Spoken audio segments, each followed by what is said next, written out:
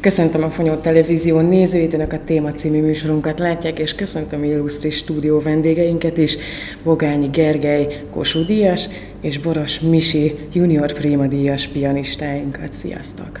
Szia! Szia. Misi, veled kezdünk. Itt nyaralsz most Fonyódon, illetve Fenyvesen a szüleiddel. Mindig itt nyaraltok, két éve már találkoztunk is, beszélgettünk egy, egy kicsit, csináltunk egy hírt, hogy telik a nyarad, így gyakorolsz most a Fonyódi Kulturális Intézményekben? Igen, nagyon jól telik, és nagyon boldogok vagyunk, hogy itt gyakorolhatunk, dolgozhatunk, mert, mert különben nem tudnánk itt lenni, mert ez a nyár, ez a legjobb idő arra, hogy gyakoroljunk, és, és most az én időmben is, hogy 15 éves vagyok, ez most a legalkalmasabb, hogy minél többet és, és aktívan dolgozunk, úgyhogy igen, fenyvesen itt vagyunk, és, és nagyon-nagyon jó, hogy itt gyakorolhatunk. Fenyvesen vagyok már nagyon-nagyon régóta, itt nyaralok a szüleimmel, meg most Bugányi Gergelyen is már második éve, és ez nagyon-nagyon jó, hogy itt tudunk dolgozni, ez a hely fantasztikus, fonyód. 11 éves voltál, ugye, amikor megnyerted a virtuózokat, azóta rengeteg helyen jártál, bejártad az egész világot. Milyen fellépéseid, milyen előadásaid voltak, illetve rengeteg elismerést is kaptál erről. Kicsit mesélsz nekünk? Igen, igen, a virtuózok az most már négy éve volt, már nagyon-nagyon régen, és igen, hála az égnek azóta sok minden volt. Tavaly év végén volt egy koncertem Bugányi Gergely művész úrral a, a Műpában, ami egy nagyon-nagyon nagy mérföldkő volt az én számomra, és, és most lesz az Arena koncert is majd szeptemberben, amit majd szintén közösen fogunk adni, meg még lesz több minden is a koncerten, szóval nagyon színes műsorral készülünk, úgyhogy szerencsére van mindenféle program a, a műsorban. Gergelyel gyakoroltak most itt, ő a mestered már ugye évek óta, hogyha mondhatjuk ezt, fűződik a nevethez egy csodálatos zongora, egy világhírű teremtmény, hogyha mondhatjuk ezt. 2017-ben mutattátok be Pécsen. Ő hogy született? Ő egy életmű, egy életmunka. Légy szíves, mesélj nekünk erről egy kicsit. Igen, valóban egy életmunka, vagy még több is annál, mert ez egy, egy több embernek a, hát egy kicsit így az élete munkája. Hát több mint 20 évvel ezelőtt vetődött fel bennem először ez a gondolat, hogy kellene kezdeni valamit a hanggal. És, és valahogy úgy alakult, hogy ki, lett egy csapat, kialakult egy csapat körülöttem, és hát dolgoztunk ezen sok-sok éven keresztül. Úgy érzem, hogy ez az egész munka és ez az egész feladat, ez egy most ennyi évtávlatából már úgy érzem, hogy ez egy, ez egy hatalmas ajándék Magyarországnak, hogy Magyarország egyfajta dicsőséges jövőjét, ami most van, illetve most jön el, azt kulturális szempontból támogassa, és mint egy, egyfajta zászlós hajó legyen ennek a összképnek. Tehát hatalmas, már-már emberfeletti munka mennyiség és minőség van a zongora mögött, a zongora megépülése mögött. Ez a legtöbb ember számára teljesen lehetetlen és értelmetlen vállalkozásnak tűnt, mert minek kell ilyet csinálni, amikor egyrészt vannak jó hangszerek, másrészt ebbe csak belebukni lehet, és csak ellenségeket szerezni még többet. Erre nekem miért van szükségem? Hát ez az, hogy nekem nem volt rá szükségem, az országnak van rá szüksége. És ezért alakult úgy, hogy ezért alakultak a körülmények úgy, már 20 évvel ezelőtt is, hogy én inspirálva lettem felülről, hogy, hogy egy ilyen típusú gondolkodást kezdjek el, és, és nem csak, hogy, hogy hanem aztán később valósítsuk is meg. Tehát ennek a, a zongorának úgy érzem, hogy ez az igazi története. És ez egy ilyen módon nézve, ez már egy óriási nemzeti kulturális ikon, illetve érték és ügy. Egyébként Amerikától Erdélyen keresztül mindenhol a világban, Oroszországtól Németországig, ahol járok, mindenki, mindenki úgy van vele, hogy hú, de csodálatos ez, a, ez az új magyar hangszer, és milyen hatalmas összetartó ereje van. Tehát van abban bizony igazság, hogy, hogy egy spirituális és egy kulturális összetartozást is jelképez ez az új magyar zongora.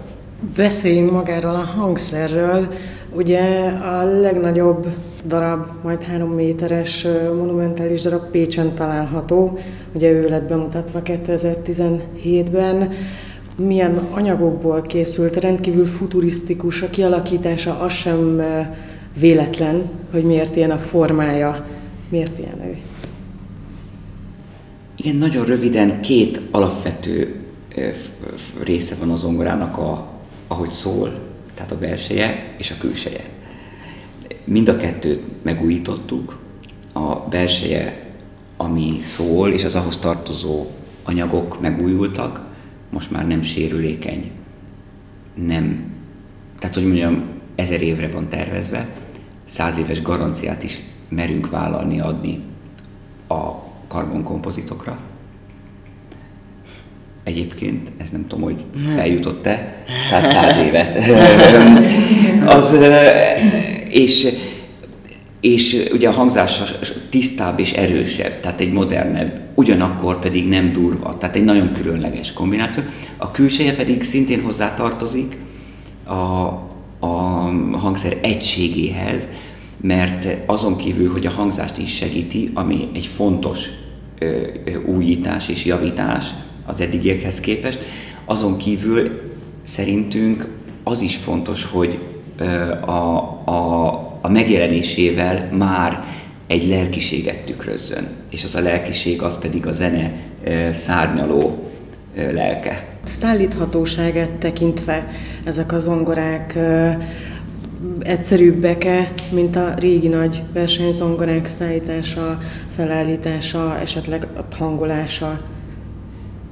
A szállítás az nagyjából ugyanaz, a hangolás és az hangszer technikai szerelések pedig úgymond ez karbantartás, az pedig egyszerűbb és kevesebb munkát igényel, de természetesen van rá szükség. Azért kérdezem, ide kapcsolódik a következő kérdésem is talán. Ugye a világ számos pontján játszotok, ez nem egy olyan hangszer, amit azért összepakol az ember a hátára dobja, és, és lehet vele repülni, hajózni, bármi. Tehát... Hát a hátára nem, de egyébként repülni, meg hajózni igen. Tehát már repült az omora már három évvel ezelőtt is a prototípust vittük el Isztambulba, ez a zongor, ennek a zongorának az elődje volt már Amerikában, ez volt konkrétan. Tehát van egy doboza, és mhm. repül, meg úszik. Tehát ezzel nincs olyan nagy, nagyon különös. Te, Misi, aki ugye tanulási folyamatot során is számos zongorán játszottál, milyen játszani a bogányi zongorán? Nagyon-nagyon jó, és egy óriási élmény eh, rajta játszani mivel úgy van kialakítva a zongora, hogy valóban leütök egy álhangot, akkor egy álhang fog szólni, és nincs rengeteg másik mellékzörej, és akármelyik másik régi típusú zongorán játszom, mindig nagyon oda kell figyelnem, hogy, hogy és nagyon kell koncentrálnom, hogy tisztán halljam is, és egyáltalán valamilyen élményt adjon nekem egy ilyen zongora után. Mert ez egy nagyon-nagyon tiszta, és, és csak az kell, csak az szól, amit a zeneszerző vagy mi is szeretnénk hallani. Úgyhogy szerintem ez egy óriási dolog, és a kinézete is egy fantasztikus ötlet volt, hogy így megcsinálják az óriási hang mellé. Szóval én nagyon-nagyon gratulálok, hogy így minden összeállt. Nagyon aranyos, köszönöm. Egyébként nem beszéltünk össze, de a lényeget találta el, kapta el a Misi, mert pont a, a, a hangnak a tisztasága volt az egyik legfontosabb. És az, hogy a zörejeket, zörejmentesítsük a hangot tulajdonképpen tehát így is lehet fogalmazni, úgyhogy az érzet az valóban van ilyen. És ezek a vélemények, ötletek mind hozzájárulnak ahhoz, hogy a további fejlesztések során ez mindig csiszolódjon a, a hangszer, a zongora? Persze.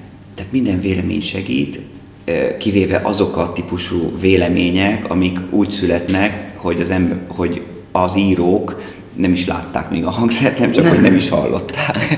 Azokkal nehéz mit kezdeni, az nem fejleszt semmit, viszont a, a, a, az értelmes párbeszéd, az értelmes párbeszéd és az értelmes kritika, az nagyon jó. Mi a legnagyobb érdeme eddig, hogyha nem csak a megjelenését, a csodálatos hangzását és a sikereit nézzük ennek a zongorának, világszinten mi az a siker, amit eddig elért? Most kezdődik a folyamat. Tehát most az elején vagyunk. Most a, a munka úgymond idézőjebe befejeződött, tehát a fejlesztések legnagyobb része kialakult a hangszer, és most kezdődött el tulajdonképpen a gyártás. Nagyon kicsi manufaktúra, és nagyon hát rendkívül igényes sem igyekszünk csinálni természetesen, de igazából ez a fajta élete a hangszernek most kezdődik. Egy óriási, egy aréna koncertre melegítetek már be, ezért van ez az edzőtábor, illetve, hogyha nem titok, akkor láthatunk itt téged a színpadon, fonyódon is. Erről vannak-e már részinformációk? Ne, erről még, erről még nincsenek, de majd jövő évben. Jövő évben lesz majd, igen. És az aréna koncerten, ott azért már egy publikusabb dolog, ott mire számíthat a közönség, mit fog látni, kiket fog látni, hallani? Az aréna koncert az nagyon-nagyon izgalmas lesz, és az volt a célunk, meg azt szerettük volna, hogy ne csak egy átlagos koncert legyen, hogy felmegyünk, zongorázunk, lejövünk, szóval valami újat szerettünk volna csinálni, és egy családi beszélgetés során gondoltunk rá, vagy vetődött az föl, hogy esetleg csináljunk egy olyat, hogy ez a fantasztikus bogányi zongora, ez legyen a színpadon, de ne csak egy, vagy akár kettő, hanem négy darab.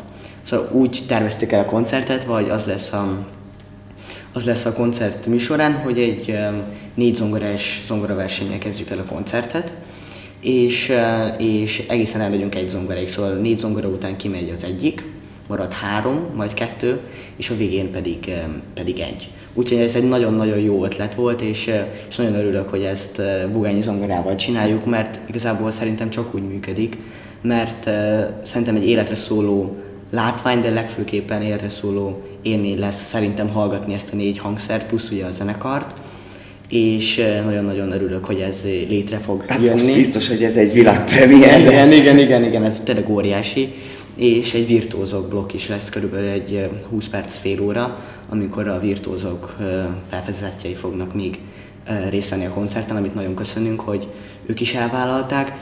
Úgyhogy de elsősorban az lesz a koncert célja, hogy az arénában klasszikus zenei koncertet csináljunk, olyan hangosítással, olyan világítással, hogy klasszikus zenei élményt adjon, szóval klasszikus koncert élményt adjon, és, és nagyon-nagyon jó szerintem, hogy ezt négy bogányi zongorán próbáljuk hm. megcsinálni. Igen. Igen, ez, ez egy annyira izgalmas dolog, hogy megint olyat csinálunk, amilyet még sose csináltunk. Sőt, nem csak mi, hanem senki.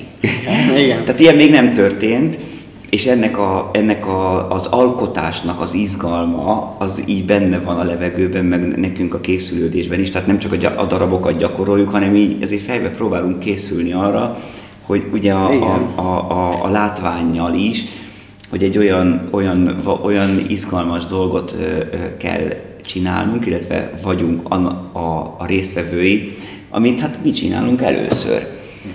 Ezek, ezek, ezek nagyon szép dolgok, és én az előadó művészetben, a Misi is, ugye ezt tanuljuk, hogy soha nem ismétlünk. Rengeteget gyakorlunk, dolgozunk, de a színpadon nem ismétlünk. Magunkat nem ismételjük, tehát mindig megújulunk. Mindig. Ez nagyon komoly dolog, és ez az előadó művészetnek a lényege. Egyébként ez az, vagy az egyik lényege, ez az, amit manapság olyan sokszor elfelejtenek, és úgymond futószalagszerűen gyártják a koncerteket. Ez a, ez a menedzservilág, ez a ipar szerűsége a dolognak, ez. De most mi nem ezt csináljuk, én nem ezt, és mi sem, hanem, hanem mindig megújulunk minden egyes koncertre, és én ezt tanultam meg az életemben, és a koncert szervezés, illetve most így a, ez az újabb koncepció, ez is ennek is egy kicsit a része, hogy, hogy megint, nem, megint valami újat csinálunk, megint megújulunk, és eh, ahogy szerintem kiválóan mondtad, az nagyon fontos, hogy a klasszikus zenét, tehát az igazi értéket visszük most egy nagy térbe, de úgy, hogy közben látványában is, és hát műsor koncepciójában is egy teljesen egyedülálló kompozíció lesz. Igen, igen. Részünkről pedig az a szerencse, hogy itt gyakoroltak az épületben, és ezt hallhatjuk ennek a nagy koncertnek a felkészülését. Ez az első turnus, a közös munka első turnusának az első állomásnak utolsó napja. Félre még valami a nyárba, egy kis nyaralás, pihenés esetleg? Igen, nagyon jól lesz tudtuk egyeztetni azt, hogy gyakorlás és pihenés is. Természetesen is terveztük is, hogy még augusztus legvégén majd egy-két hetet még itt leszünk, és, és ugyanígy készülünk, meg ott lesz majd az aréna koncert is rá egy hétre, szeptember 7-én, úgyhogy, úgyhogy még jövünk, és ugyanígy fogjuk folytatni, egy kisebb kihagyással, balatoni kihagyással, de végig ugyanígy folytatjuk a munkát, és, és szintén majd nyár legvégén ezt folytatjuk itt Fonyódon. Nagyon szépen köszönöm, hogy elfogadtátok a meghívásunkat és beszélgettünk. Köszönjük szépen a Fonyód Televízió nézőinek a figyelmet.